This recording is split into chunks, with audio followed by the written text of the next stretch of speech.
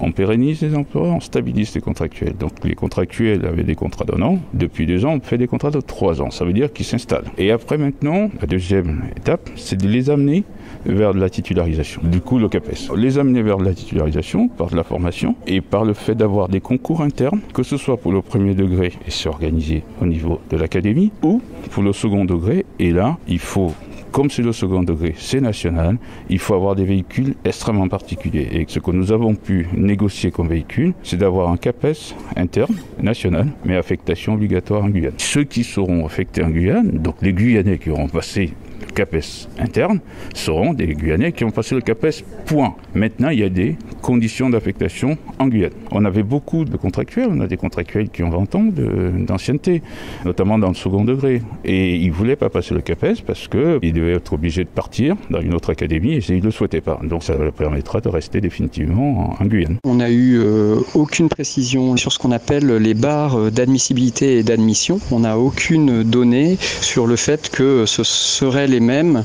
pour euh, le CAPES interne à affectation Guyane et pour le CAPES interne classique. Ce qui laisse penser qu'il euh, serait possible d'être admis au CAPES interne Guyane avec un niveau inférieur au niveau nécessaire pour être admis au CAPES interne entre guillemets classique. Ça voudrait dire que euh, autoriserait en Guyane des collègues à enseigner avec un niveau de maîtrise de leur matière en deçà des critères demandés sur les autres territoires français. Ça ressemble à une expérimentation de régionalisation des concours. On considère que c'est euh, à l'État de faire en sorte que euh, chaque jeune sur l'ensemble du territoire français puisse recevoir le même niveau d'éducation et que ce n'est pas à chacune des régions, en fonction des moyens dont elles disposent, de mettre en place euh, un système éducatif qui, de fait, ne serait pas le même d'une région à une autre.